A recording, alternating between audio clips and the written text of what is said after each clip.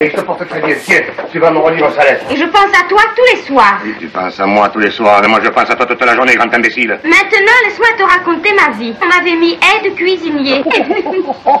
Il a dû bien manger dans ce bateau.